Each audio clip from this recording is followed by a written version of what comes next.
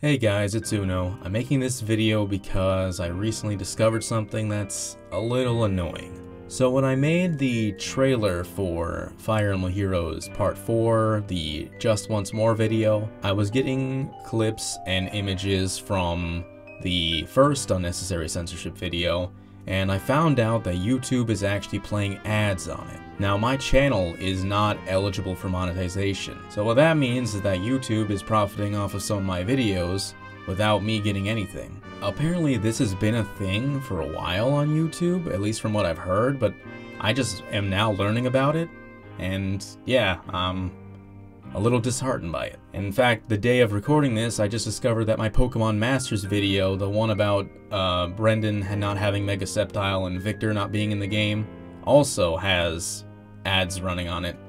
Which is a little weird because that video is way less views. I'm not really sure what the criteria for them to put ads on not monetized channels is.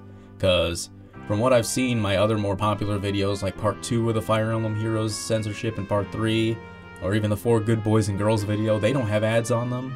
So I'm not really sure why they chose those specific videos, but either way, it's a little annoying. So I'm making this video to let you know that because of this, I decided that I'm gonna delist both of those videos. Yes, even the Fire Emblem Heroes unnecessary censorship will be delisted because I don't like that YouTube is making money off of the work I've done making videos and I'm ultimately getting nothing for it. Yeah, sure, I'm probably not missing out on much. I mean, it's two videos that have ads and they probably made like, what, 50 cents in total?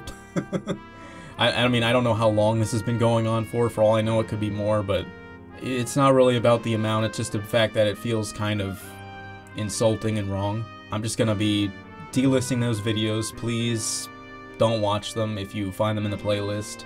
I mean, I guess you could watch them. I don't. I don't actually know. Does do ads run on unlisted videos? I don't think they do. So, I mean, I guess if you want to, if that's the case, then I guess you can still watch them in the playlist, but either way, that's what's happening. I felt like I needed to make this video before I decide to do that, and if I find out any other of my videos are in the same situation, I'm going to be doing the same thing to them, because I won't let YouTube do that. Even if it's not much, I still don't think they should be doing it. The fact that it's not to give them much makes it even worse, actually, I think. it's like they're doing it for pretty much no reason. No good reason. There is no good reason at all for it. So uh, I'm just gonna leave this video with saying if you find a small YouTuber, like you watch a video of theirs and it has like thousands of views, uh, please subscribe to them.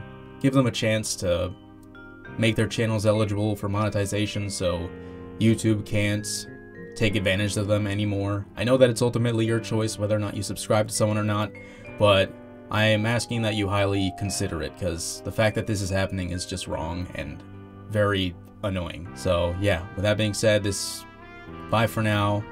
Uh, and please look forward to other videos I make in the future.